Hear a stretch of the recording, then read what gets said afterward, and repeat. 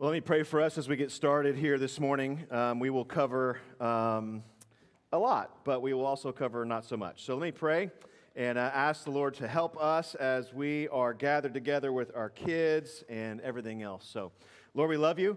Uh, Lord, only, we only love you because you loved us. And so um, we just ask God for your help today. We ask for your spirit to counsel, correct, convict, encourage where necessary. Um, we can't do this without you. And so, if we have one hope today, my prayer um, is that we would be. Um, we would know something about you, that you would show us something about yourself so that we may be changed on the inside, uh, that we would worship you in a new or a deeper way, um, and that our lives would change. Like, that's no small ask, and it's not something that I can conjure up or that we can kind of um, uh, create in a song or an environment. That's something your spirit, oh Holy Spirit, that only you can do. And so, um, would you use today to um, bring that kind of change in our lives and in our hearts? Uh, in the life of our church, in the life of individuals, in the life of our community, anybody else that's dialing in online. Lord, change us. We don't want to come into this place and leave here and there not be a moment where we understood that you were there. So, in your power, in your sovereignty, and in your presence, Lord, we rest um, and we ask these things, Lord. Would you give us eyes to see? Would you give us ears to hear?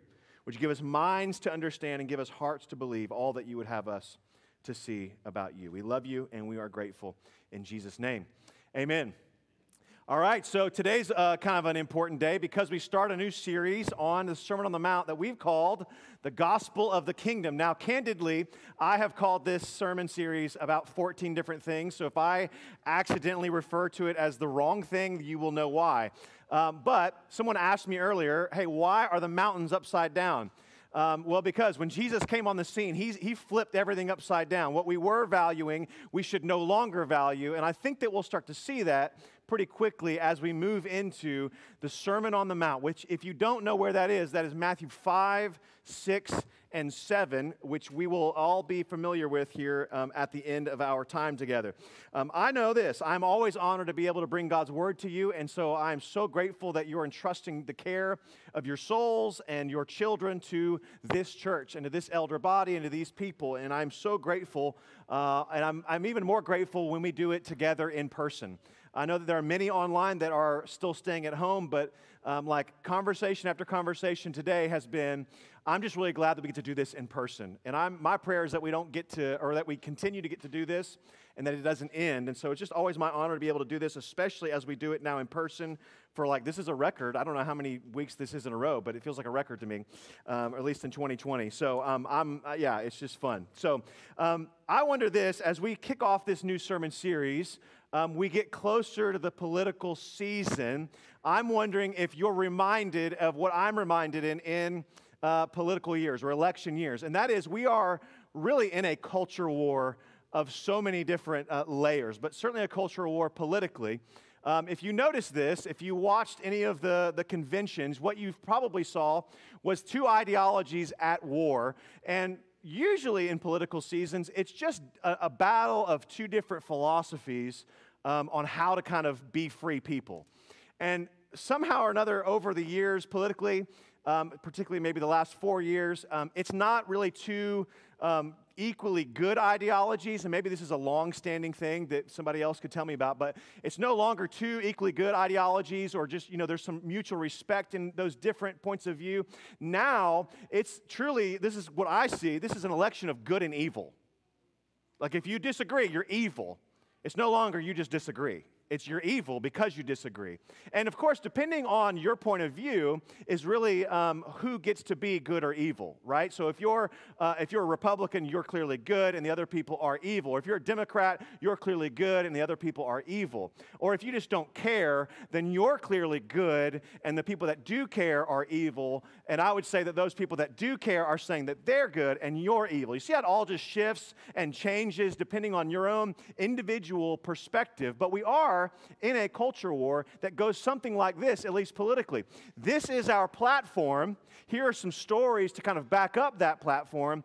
And now, if you live this way, AKA vote this way, God will continue to bless America. Have you, have you heard that? Have you seen that? That's what's being fed to us on a pretty regular basis. Um, and it's not just political, right? It's in all things these days. And it is this, this platform of good and evil in many ways. But I want to ask you this what is God blessing us? What does that actually look like? Because I think when politicians say it, it really means safety and prosperity. Like that we would be safe from our enemy, enemies and our, our economy would just boom like crazy. We want, we want riches and we want to be secure. But is that really God's blessing? Is that truly what God has said in His Word is how He blesses us? Material wealth and, and safety? See, I think that's the narrative that's kind of just being fed to us, and we're not even aware of it until someone stands on a stage and goes, Hey, you're aware of this narrative that's being fed to you? That God blessing you is kind of making it successful and having uh, a safe place to call home? No, the way of Jesus has more beauty and texture than just safety and significance. The way of Jesus, as we'll see through the Sermon on the Mount, is that God is going to invite us into blessing by following his way, by following His truth, and living into a different kingdom. Um, so I, I, wonder when I read through the Sermon on the Mount, like what kind of living represents God on the earth? Is it this political ideology, whether you're, you're going blue or red, is it safety and security or is there something else? Is it red, is it blue, or is it white? And you might think, is it white? Yes. Is it white? Is the flag that you fly over your soul, over your heart, and over your home, is it the white flag of surrender to the king and his kingdom? Or is it some other color representing something else? See, I think that there's a great invitation through the Sermon on the Mount to pick up that flag of the enjoyment of God's design for humans to flourish inside of his kingdom. Now, I'm going to use that word flourish several times. I'll define it, or I'll at least give you some uh, background as to why I'm using it here in a minute. But that we would enjoy God's design for humans to flourish inside of God's kingdom. The Sermon on the Mount is going to help us flourish inside of God's kingdom, a part of God's design. And so, to help us understand all that, here's what I'm going to do today. And this is going to be a great test of our will because this is going to be more than you've bargained for this morning. But we're going to do it anyways. We're going to read chapters 5, 6, and 7 in Matthew. There's no way to get a better picture. If you've ever studied a book with me before, when we read Jonah or any smaller book, we read the whole book together because we want to see it from beginning to end. We want to see the full concept of what Jesus is trying to get to us. But before we get there, and as you prepare to either pull up your Bible app or your actual Bible, which they actually still make, I don't know if you knew that. They still make those, and so Matthew 5, 6, and 7 is where we're going to be. But as you think about this, I don't want you to think about Democrat or Republic or Republican or Libertarian or whatever you kind of fit yourself into. I want you to go way back, first century religious person, you're either one of two people in Israel. You're either Greco Roman, which means you are living, trying to live a virtuous life to get the blessing of Zeus, Athena, and many more, or you are Jewish and you are trying to live the virtuous life by God's law and you're trying to get the blessing of the God of Abraham, Isaac, and Jacob. Jacob. There's really no other person in first century Israel. You're either Greco Roman or you're Jewish. And if you are Jewish, you are a small minority and a large majority of people that are looking at you going, You're crazy. That's always been uh, the, the place of God's people. A small minority where people are looking at us and going, You're crazy. You, there's no way that, that life actually works like that. But both systems, much like today's political system, adhere to this message do these things and God will bless you. If you are here and you adhere to an A plus B equals C faith, that's no faith at all. That's certainty. And it's certainly going to be a disappointment when it comes to Jesus. He doesn't operate that way, and the Sermon on the Mount is going to help us understand that because if you're in first century Rome and you're thinking either Greco Roman and I've got to be a good, virtuous person to appease the gods of Zeus and Athena and many others, or I have to be a good, virtuous person to please the God of Abraham, Isaac, and Jacob, there's a new teaching that comes on the scene in Matthew 5 through 7. It's this new teaching from this this, this little known itinerant preacher who is traveling from city to city. And it, this teaching is accompanied by the authority to heal diseases. This teaching is accompanied uh, and isn't limited to the educated, to the privileged. It has come to every man, woman, and child and is available to all. It is a teaching that comes from this traveling messenger who the Bible says in Matthew 4 who went throughout Galilee. He, he, he teaching in their synagogues and proclaiming the gospel of the kingdom. That's what he's preaching the gospel of the kingdom and healing every disease and every affliction among the people. So his fame spread throughout all Syria. That's, that's the Arab world. His fame spread throughout all of Syria, and great crowds followed him from Galilee to the ten cities of the Decapolis, and from Jerusalem and Judea, and even beyond the Jordan. This teaching has come with power and authority from a little known nobody from Nazareth. And it's no wonder that the world is going to get turned upside down because he's doing things that no one thought possible except for God. And I want you to see this. The Sermon on the Mount does not say, live this way and God will bless you, but God has a design for human flourishing or blessing, and you are invited into it. Now, again, I've said the word flourish to describe the kind of life that God has designed for us and, and has outlined for us in the Sermon on the Mount. This comes from uh, a book that I've been reading and it's been influential. Jonathan Pennington, it's called uh, The Sermon on the Mount and Human Flourishing. Um, it's not light reading, but I encourage you to read it. It'll be fun, and we can talk about it. Uh, but the basic idea is this that God has designed this world and our lives to be lived in a certain way which will promote our flourishing. You see, that's the political ideologies that we will flourish as a country, that God will bless us if we just do X, Y, or Z. And Jesus has come on the scene for our lives as much as He came on the scene for their life. It says, no, no, it doesn't work that way. Instead, God has blessed you. He does have a design for you if you will just only live into it. Then you will flourish as a human, as a Christian, as a Jesus follower. You will flourish. It's already been granted to you. It's just a matter of whether or not we're going to catch it and live it. So, with all that in mind, let's read Matthew 5, 6, and 7. So, buckle up. This is about 14 minutes. Not that I've done it and timed it, but that's what we're going to do, okay? I should get water, but I'm not going to do that. Here we go. Matthew 5, verse 1. Thank you. Love, appreciate it. Seeing the crowds, he went up on the mountain, and he, when he sat down, his disciples came to him. And Jesus opened his mouth and he taught them, saying, Blessed are the poor in spirit, for theirs is the kingdom of heaven. Blessed are those who mourn, for they shall be comforted. Blessed are the meek, for they shall inherit the earth. Blessed are those who hunger and thirst for righteousness, for they shall be satisfied. Blessed are the merciful, for they shall receive mercy. Blessed are the pure in heart, for they shall see God. Blessed are the peacemakers, for they shall be called sons of God. Blessed are those who are persecuted for righteousness' sake, for theirs is the kingdom of heaven. And blessed are you when others revile you and persecute you and utter all kinds of evil against you falsely on my account. Rejoice and be glad, for your reward is great in heaven. For so they persecuted the prophets who were before you. Now you are the salt of the earth. But if salt has lost its taste, how shall its saltiness be restored? It is no longer good for anything except to be thrown out and trampled under people's feet. Now you are the light of the world. A city set on a hill cannot be hidden. And nor do people light a lamp and put it under a basket but stand it, stand, put on it, but on a stand, and it gives light to all those in the house. In the same way, let your light shine before others, so that they may see your good works and give glory to your Father who is in heaven. Do not think that I have come to abolish the law or the prophets. I have not come to abolish them, but to fulfill them. For truly I say to you, until heaven and earth pass away, not an iota, not a dot will pass from the law until all is accomplished. Therefore, whoever relaxes one of the least of these commandments and teaches others to do the same will be called least in the kingdom of heaven.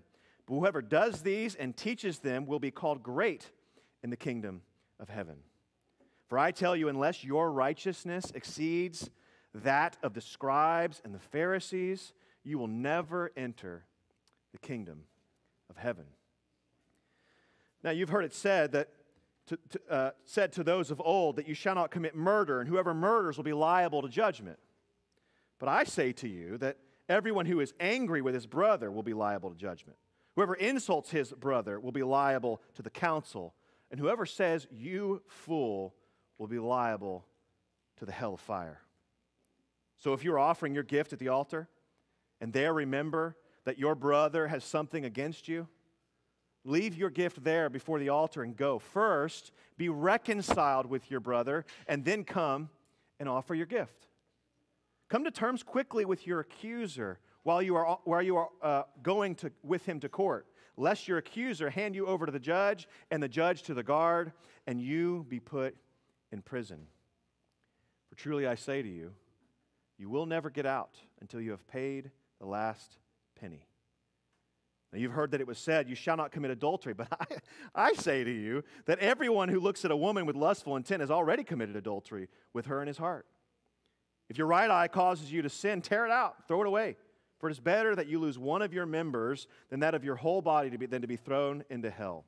And if your right hand causes you to sin, cut it off and throw it away. For it is better that you lose one of your members than that your whole body go into hell. Now, it was also said, Whoever divorces his wife, let him give her a certificate of divorce. But I say to you that everyone who divorces his wife, except on the grounds of sexual morality, makes her commit adultery. And whoever marries a divorced woman commits adultery. Again, you've heard that it was said to, to those of old, You shall not swear falsely, but shall perform to the Lord what you have sworn. But I say to you, do not take an oath at all, either by heaven, for it is God, the throne of God, or by earth, for it is his footstool, or by Jerusalem, for it is the city of the great king. And do not take an oath by your head, for you cannot make one hair white or black. Let what you say simply be yes or no. Anything more than this comes from evil. Now you've heard it, that it was said, an eye for an eye and a tooth for a tooth. But I say to you, do not resist the one who is evil. But if anyone slaps you on the right cheek, turn to him the other also. And if anyone would sue you and take your tunic, let him have your cloak as well. And if anyone forces you to go one mile, go with him two miles. Give to the one who begs from you, and do not refuse the one who would borrow from you. You have heard that it was said, you shall love your neighbor and hate your enemy. But I say to you, love your enemies and pray for those who persecute you, so that you may be sons of your Father who is in heaven. For he makes his sun rise on the evil and on the good, he sends rain on the just and on the unjust. For if you love those who love you, what reward do you have? Do not even the tax collectors do the same? And if you greet only your brothers, what more are you doing than others? Do not even the Gentiles do the same? You therefore must be perfect as your heavenly Father is perfect. Beware of practicing your righteousness before other people in order to be seen by them, for then you will have no reward from your Father who is in heaven. Thus, when you give to the needy, sound no trumpet before you as the hypocrites do in the synagogues and in the streets, that they may be praised by others. Truly I say to you, they have received their reward. But when you give to the needy, do not let your left hand know what your right hand is doing, so that your giving may be done in secret. And your Father who sees in secret will reward you. And when you pray, you must not be like the hypocrites for they love to stand and pray in the synagogues and in the street corners, that they may, uh, may be seen by others. And truly I say to you, they have received their reward. But when you pray, go into your room and shut the door and pray to your Father who is in secret. And your Father who sees in secret will reward you. And when you pray, do not heap up empty phrases as the Gentiles do, for they think that they will be heard by their many words. Do not be like them, for your Father knows what you need before you ask Him.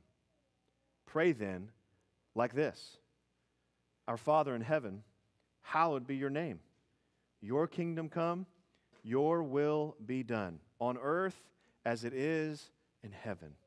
Give us this day our daily bread, and forgive us our debts, as we also have forgiven our debtors and lead us not into temptation, but deliver us from evil.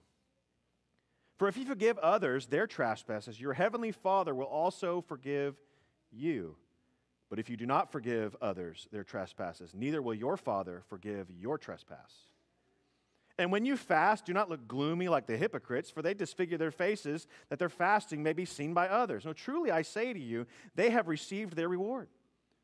But when you fast, anoint your head and wash your face, that your fasting may not be seen by others, but by your Father who is in secret. And your Father who sees in secret will reward you.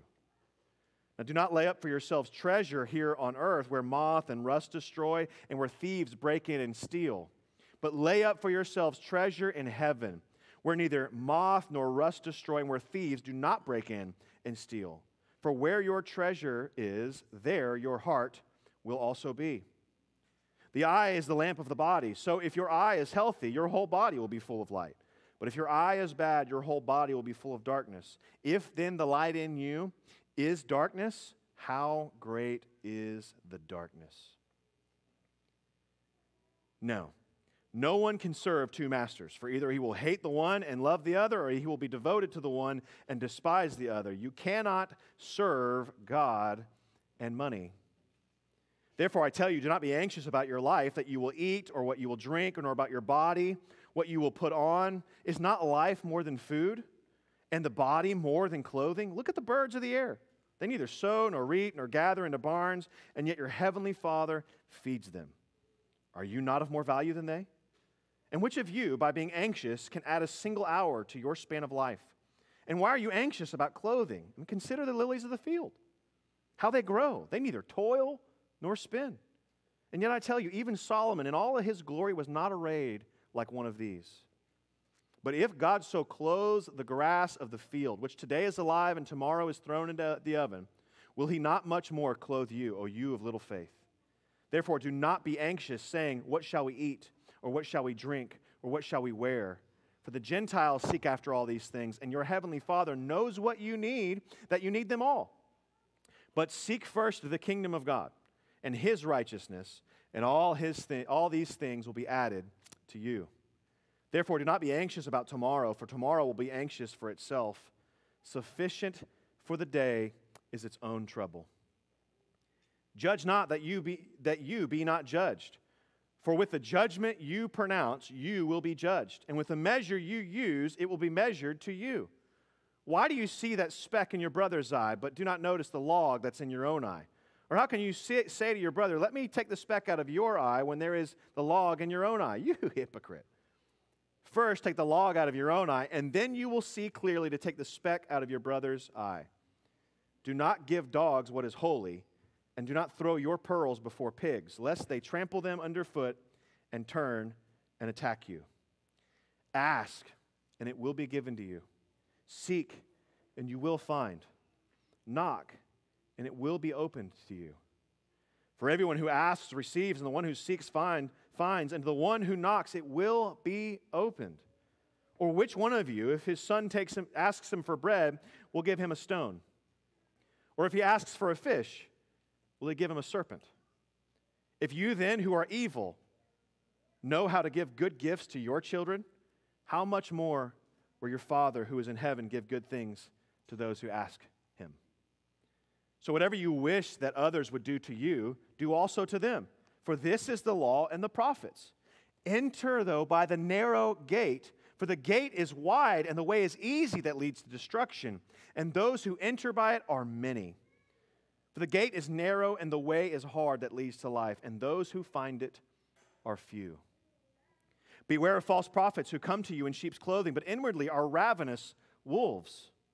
Are grapes, uh, you will recognize them by their fruit.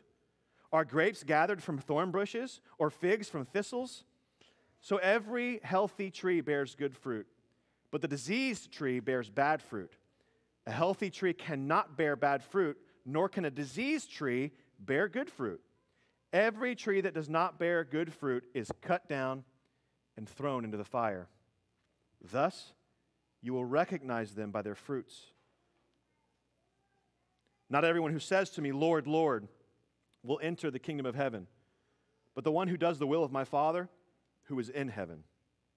And on that day, many will say to me, Lord, Lord, did we not prophesy in your name and cast out demons in your name? And do many mighty works in your name? And then will I declare to them, I never knew you. Depart from me, you workers of lawlessness. Everyone then who hears these words of mine and does them will be like a wise man who built his house on the rock. And the rain fell, and the floods came, and the winds blew and beat on that house, but it did not fall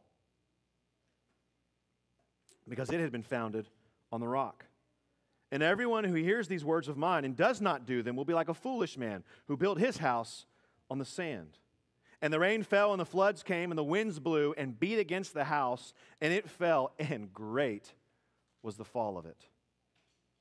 And when Jesus finished these sayings, the crowds were astonished at his teachings, for he was teaching them as one who had authority and not as their scribes. Pretty amazing sermon when you think about all the ground that he covered in 14 or so minutes, at least of my reading. Um, lust, anger, giving, uh, righteousness, uh, who he is, what it means to be blessed or fully flourishing as a human. Pretty remarkable. From a poor carpenter from Nazareth, that, that would, this would be the thing that he would repeat again and again. I truly believe this was the sermon that his disciples heard hundreds of times as he went about preaching the gospel of the kingdom, helping demonstrate what the kingdom actually looks like for his people. Now, it's been said that Jesus' Sermon on the Mount is one of the most popular parts of Scripture.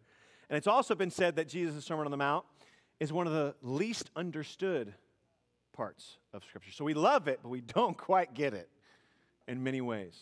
So let me first tell you what the Sermon on the Mount isn't, and then I'm going to give us four things that we can kind of pull away from uh, with today. So, what it isn't, it is not a list of do's and don'ts so that you can be accepted into God's kingdom. It is not a list of do's and don'ts to somehow become more virtuous so that you would be blessed by God. That is not what the Sermon on the Mount is, although many, and I mean many, if there's one mistake over the history of the church that we have made, it's reading the Sermon on the Mount prescriptively, meaning if you want God's blessing, this is how you live.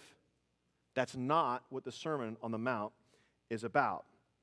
Instead, Instead, it is a statement that God has already blessed his people, and there's a great invitation into the life of blessing, of flourishing inside of God's blessing for us. It's also not a handbook for like the ultra Christians, the super Christians amongst us. You know who they are, right? The super Christians? They actually don't exist. There's no such thing. The only super Christian there ever was, and we'll get this out of Matthew 5 17, where Jesus says, I didn't come to abolish the law, I came to fulfill the law. The only super Christian there ever was is Jesus. That's it. And so this is not some, some, some, somehow a handbook for super Christians because there's no such thing. And so I say that because let's not give in to the lie that some people practice their faith and some don't. It's a great lie amongst us. That somehow there are some that are practicing and there are some that are not practicing. I, I, watched a video this week from someone breaking down worship music from someone I respect, and he goes, You know, I grew up in the church, but I'm just not practicing. What Jesus will say at the end of Matthew 7 is that you are not a Christian if you're not practicing. That, that like he's very plain and he's very clear. We just read it, right? If you don't bear fruit, you're cut off if you don't do the things that God says to do, if we're not, if we're not actually living like we actually believe these things, uh, the house that we build, the life that we build, will come down to a great fall. So I don't want us to get into our minds that there are somehow two categories of Christians ones that are like super Christians and ones that are like, yeah, I mean, we kind of just do you know, church every once in a while, that's fine.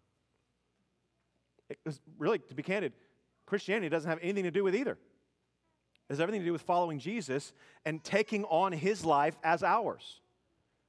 So, what is the Sermon on the Mount and why is it helpful? My prayer is that we would ask that question and answer it over many months ahead. We will be in these three chapters for many months ahead.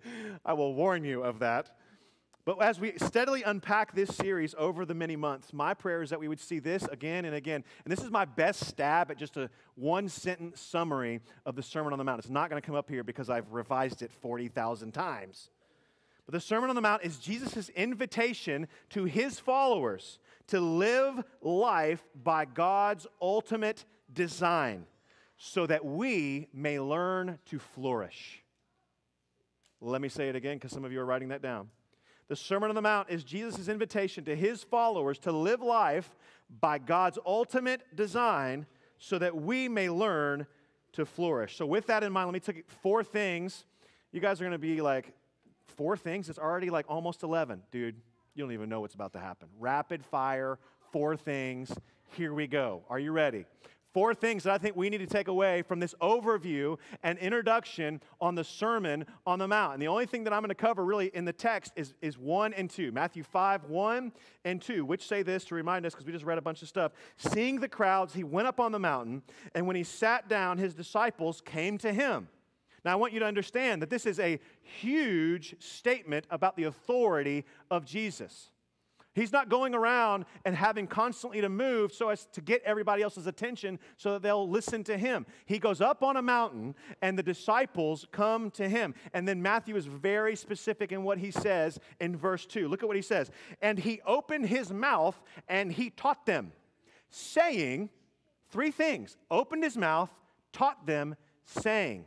This is a verbal discourse to the disciples, and it is as good as God's authority itself. So, number one, first thing, Jesus' teaching comes with God's authority. These two verses tell us, give us a picture of the fulfillment of Moses' ministry in Jesus. You remember Moses? Moses went up on the mountain. He ascended the deep, dark mountain, this high mountain of Mount Sinai. And when he got up there, he was the only one allowed up there because it was thunderous and it was dark and it was gloomy, right? And he got up there and it was all scary, and the people of God couldn't even touch the mountain. God's presence was only accessible to one person, and his name was Moses. He ascended the hill, so to speak, and he brought God's law to a rebellious people. By the way, if you want to know why you should wear masks, you just got, got uh, evidence of it if you didn't see it. But nonetheless, all of you in the splash zone saw it. Um, everybody else, not so much. All right, let's get back to this, right? So, right, Moses ascends the hill and he goes to an inaccessible God and he brings God's law to a rebellious people. Jesus, being the true and greater Moses, fulfilling that ministry, goes up and ascends the mountain. And what happens? The disciples join him on that mountain. And he not just brings God's law to people, he fulfills God's law for God's people. Huge, massive difference that we're getting in Jesus' ministry really is a fulfillment as Moses' ministry.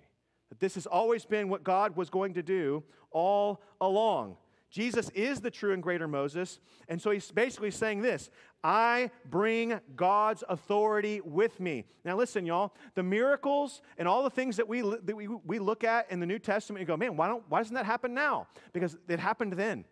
And it still does happen now. I want to tell you right now, we prayed today for a miracle to break out with COVID 19 and cancer. Did we not pray that?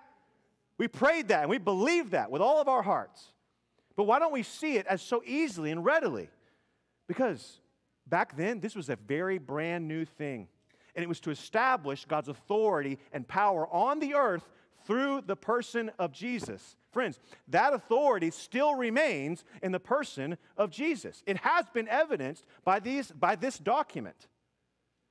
So we look back and we expect similar things, if not the same things, here and now. That's why we pray. That's why these things were written down. Because we have to have the evidence that Jesus came in power. How do we have the evidence? Miracles. How do we have the evidence? He goes up on a mountain and fulfills God's law for us on our behalf. This is God's authority in Jesus, except now, instead of being inaccessible, it is now accessible. Instead of being something we could never actually obey, it is now something that someone else obeyed on our behalf. Jesus thus redefines holy living from obeying God's Mosaic law, the righteousness of the Pharisees. These guys were, were sinless, y'all. They could do it all. They memorized the first five books of the Bible. I couldn't even memorize Matthew 5 through 7, which I tried for about five minutes, and I thought, that's too much work. We'll just read it. These guys were flawless, right? And now all of a sudden, Jesus becomes perfect for those who were imperfect, and he freely gives his perfection to others. Jesus came as the true and greater Mo- Moses, fulfilling the law for us, leading us, check this, leading us out of slavery, not of Egypt, but of sin and death and the devil. Because Jesus' authority is God's authority, this teaching is non negotiable as a Christian. So you can't just go, this is for the super Christians. You know, the ones that fast. Jesus is going to go when you fast, not if. This should be normal. Not, you know, the ones that give, the ones that are really dedicated. No, no, no. Not if you give, it's when you give. And so he's going to start to just kind of bring this as a non negotiable for all people that want to live according to God's design and live into his flourishing. Number two, number one, Jesus. Jesus' teaching comes with God's authority. Number two, the Sermon on the Mount is an invitation.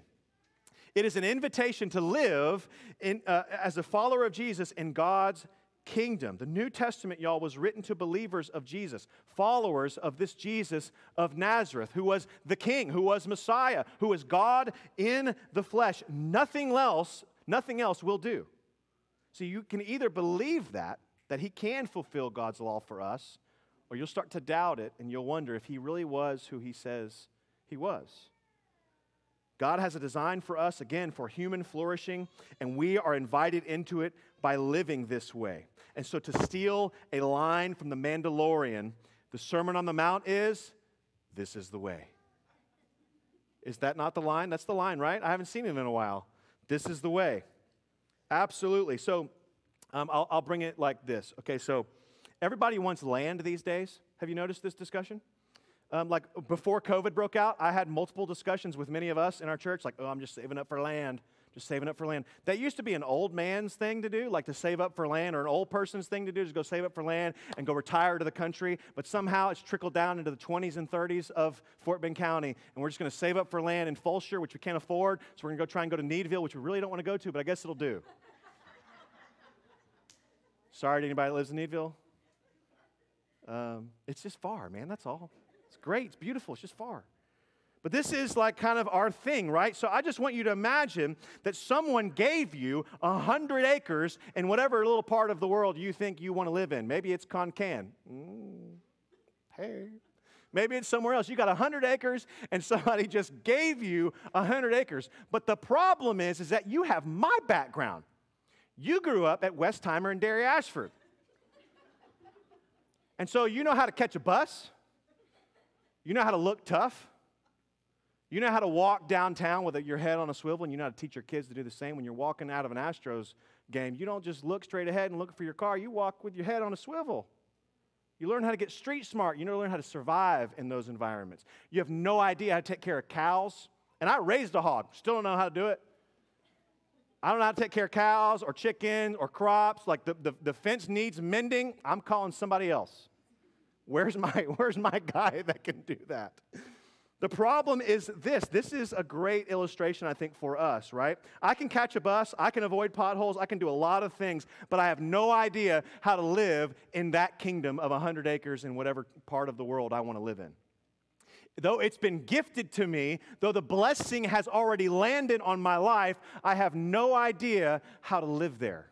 The Sermon on the Mount is exactly that the, the God of the universe has given you the kingdom, which is, which is truly uh, uh, authored and really the authority there being the gospel. We have no idea how to live there. We have no idea how to flourish in that environment. And so the Sermon on the Mount is going to help us flourish in this new place. It's an invitation to live as a follower of Jesus in that place. Third, rapid fire, I'm telling you, Sermon on the Mount is a mirror it will serve as a mirror. And what will you properly see with that mirror? You will see yourself accurately, and more importantly, you will see God accurately. So, righteousness is a big theme in the Sermon on the Mount, and you will be constantly brought to the end of yourselves and to the end of your abilities. When you read passages like we just read, And it says, um, You shall not uh, murder. You've heard it said of old, You shall not murder. But I tell you that if you've been angry with your brother, you've already you're already guilty of murder. And you think to yourself, that can't be true. Let me read that again. He says it three different times, three different ways. If you say, you fool, okay, well, I've definitely said that. If I haven't said it, I've definitely thought it. Man, I'm liable to the fires of hell. Okay. That will lead us, if, I mean, again, with the whole lust issue. I, I tell you that if you don't commit adultery, but if you've looked with your eyes, and it says woman, but we can extrapolate that out to say man too, a woman or a man, if you look at them lustfully, then you've already committed adultery with them in your heart, to which we all will sink into one of two places deep despair or deeper trust. See, we will come to the end of ourselves with the Sermon on the Mount that we cannot do this. We need someone greater to fulfill the law for us. And Jesus says, I'm the guy. See, that's the beauty of the sermon. It's not about you do things and I'll get God's blessing. It's I'm blessing you. I have blessed you. Live as a result. Right? This is the, the, the whole desire for God for us is to understand number one, we have no righteousness of our own.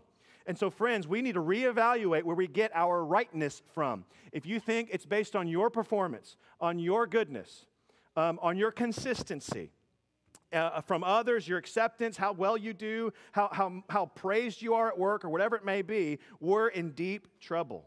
Because if your righteousness is based on you, and dare I say, it is, because my righteousness on many days is based on me and my performance. And I know it seeps in. Even though we know the truth, lies seep in each and every day, each and every week to tell us that we're basing our righteousness on our own. And the way that we know that is when things don't go our way, we get angry or upset and that's how we know. I've based my righteousness on something else besides Christ. And when we become prideful, it's the opposite, by the way, of meek.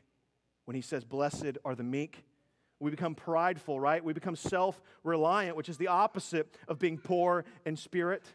That's what happens when we start to get self righteous. But instead, if your righteousness is based on someone else's performance, if your righteousness is based on someone else's rightness, and that person gifts that rightness to you, and he gives it to you only because he wants to, not because you deserve it, just because he wants to. That's how good he is. Then the only response is gratitude, isn't it? Isn't the proper response not pressure and duty, and I got to do this? It's instead, God's done all these things for us, and I have deep gratitude and humility and a desire to please that He who gave me this gift. Finally, fourth, the Sermon on the Mount will call us to the unpopular road of obedience. Christians are called to love God through doing what God wants us to do, through living like God wants us to live. We integrate every decision into the kingdom. We integrate every decision and we filter every decision through the filter of the gospel and of Jesus. And so, what do we do with our time? What do we do with our money? What do we do with our emotions? And where do we get pleasure? All those things are now being really just refiltered through Jesus' definition and guidance on how we live this way. Everything goes through what he says, especially in the Sermon on the Mount. And so Jesus' method of preaching I find to be very different than what we find in most churches today. Most churches today, we want to end on a high note. We don't end them like, you know, kind of depressed. We want to keep them smiling, so to speak. And Jesus ends the Sermon on the Mount by saying, You're going to go to hell if you don't do this. You think you know me, but you really don't. And if you don't do these things, your whole life is going to crumble. Amen. We'll see you next week. Right? Jesus' way of doing things is so countercultural back then as much as it is for us today. But instead, he doesn't want to paint a picture for us to have a better life. He instead wants to invite us into the life that he has granted, the full life. Uh, he paints a picture for us of the way God wanted us to live. And then he invites us to forsake all other beliefs. He holds a mirror up to our lives and invites us to live like He would want us to live with the values of the kingdom of God. And the only way that we can do that is to give up the prioritization of comfort, of acceptance, or even feeling good or being happy. Because one of the ways that, that blessed is, is translated is happy are those who.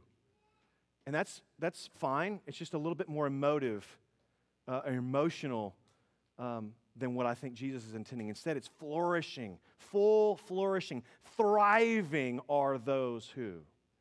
We'll talk about the Beatitudes uh, next week, but just as a preview, right? But true happiness, true flourishing is found in obedience to God. So there's a great lie. If there was one lie before about super Christians and regular Christians, there's also another lie that says this simply affirm God. Be a cultural Christian. If people ask you if you're a Christian, you say absolutely. And then if they get a little bit closer to you, what does that look like? If they come and hang out with you, if they go to the playground or the park or follow you at work or at home with you, are your kids scared of you? Those are the types of things that we look back on and go, Am I representing God on the earth or am I building my own kingdom? See, there's this great lie again that we will just simply affirm the faith, say a prayer, get baptized, do these things, and you'll be fine. But Jesus does not want us to be fine. Like, truly, Lord, help us if our desire is to just be fine. He wants us to understand that no one is fine, not even the Pharisees, not even the holiest of the holy of the day. We need someone else to be what we cannot be. Fine was never the goal for us, anyways. Instead, He wants us again, you're going to be so sick of this word, to flourish. So, how do we do that? How do we actually flourish? See, that's the subject of the rest of the Sermon on the Mount. How do we live inside of this kingdom? How do we live inside of this uh, ultimate God's design for our lives? It's exactly what we're going to discover um, over and over and over again over these next weeks in the Sermon on the Mount as we see God's design for our flourishing and we dig into what we now are calling the gospel of the kingdom. So, my prayer is that you would join us, not just on a day, but daily living, kind of digging into what Matthew 5, 6, and 7 truly say. Next week, we're going to tackle the Beatitudes. So, verses 3 through 12. If you want to just start digging on that on your own, praise God, you will learn much and you will come ready and, fill, and filled to figure out if I missed something. And if I have, which I will, you can tell me about it. It'll be great. What a, what a dialogue and a discourse that would be.